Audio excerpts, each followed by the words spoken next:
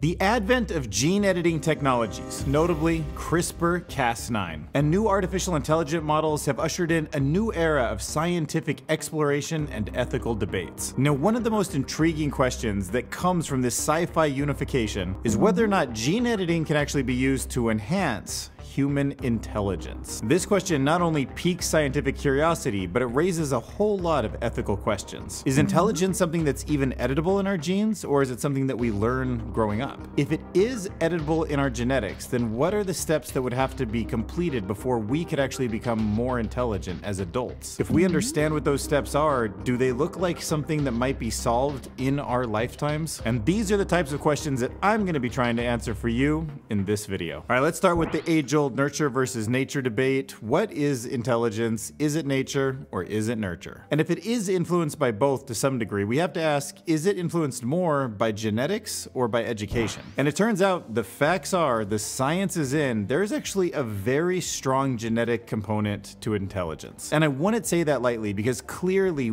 the environment that you grow up in, the kind of education you have access to, has a profound impact on how intelligent somebody becomes in the long run. But the reason why we know genetics do play a very important role in intelligence is because there are studies that have been done on genetically identical twins. And by taking two children with the exact same genetics and following their IQ, their intelligence throughout their life, scientists have determined that genetics can account for approximately 50 to 80% of the variance in intelligence among individuals. Now, the interesting thing about that range, going from 50 to 80%, is it turns out that the genetic influence on how intelligent someone is actually varies by age. Interestingly, genetics play more of a role in older populations than it does in younger populations. That's right, genetic influence actually increases with age. Now, of course, there isn't a single gene for intelligence, it's a whole bunch of different genes all working together it's a very complex system that doesn't have an easy on or off switch to exactly turn on or turn off. So intelligence is what is called a polygenetic trait. So even though they do have an impact on intelligence, we have to remember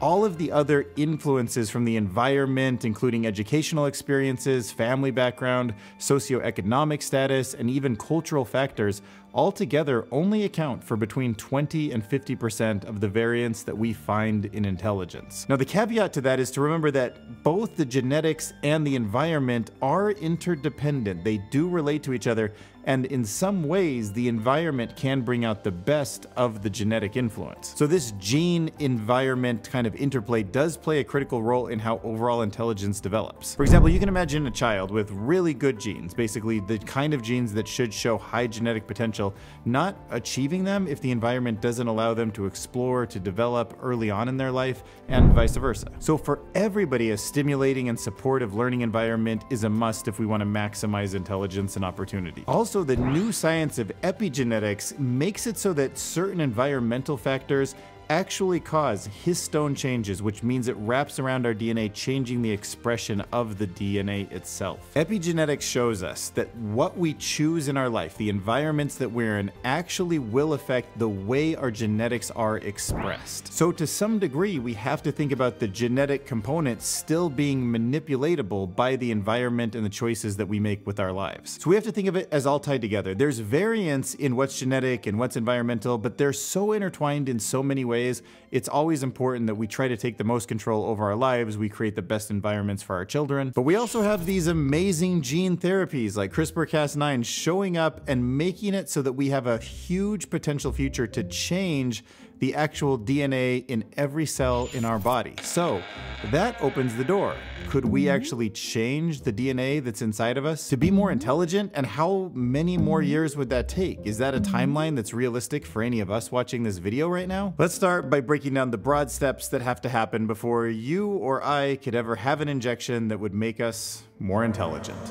Okay, so first off, we need to see some kind of CRISPR-like technology used safely in humans. Technologies that can change every gene in our entire body are extremely dangerous if we get them wrong. And there's so many knock-on effects that it's hard to actually say that you can do it for any time in the future in a safe way. But out of all the major steps that we'd have to go through to actually increase intelligence, this one is probably actually the most reasonable to see achieved in our lifetime. Now, I'm even gonna guess that 5, 10, 15 years from now, we're gonna going to see some gene therapies broadly used and pretty darn safe. Now, I'm not talking about knowing which genes to change, but just the fact that we could inject gene therapies that actually do something reliably and change exactly the genes that we want them to, that is possible, probably. And I say that because we have already had one gene therapy approved by the FDA. In previous videos, I've talked about gene therapies that have been successfully used in mice to lower cholesterol and are now in human trials. In fact, the actual one that was approved by the FDA is for sickle cell disease, and that's on the market currently. I've talked about how successful gene therapies have been at eliminating AIDS from rodent models, and now there's human trials in that also. So that gives me a sense that this is very possible. And then when you think about how many billionaires in the world just want to be smarter and can devote tons of money to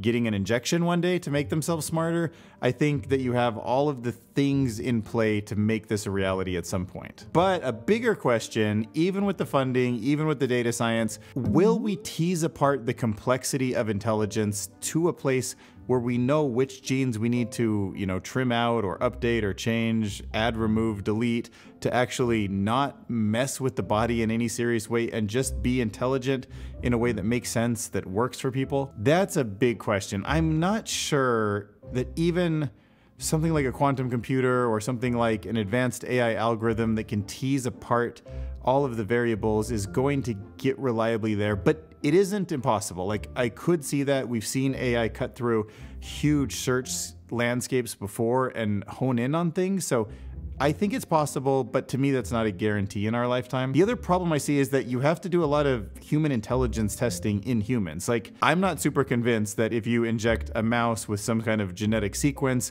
and it learns to run a maze better, or it can like memorize where food is better, or it can identify colors better, that that means if you inject that in a human, that the kind of intelligent change that we would have in our lives would be the kind of human-like intelligence that we were looking for. So I could just see the evidence of building very slowly towards something that looks like the intelligence that we want to have. The other interesting component about it would simply just be its societal impact, the social impact, media would instantly pick up on some kind of injection like this. If a few people knew about it, it would go crazy in the media saying this exists, it can make you smarter, these people have injected it, and here's the evidence that they're smarter.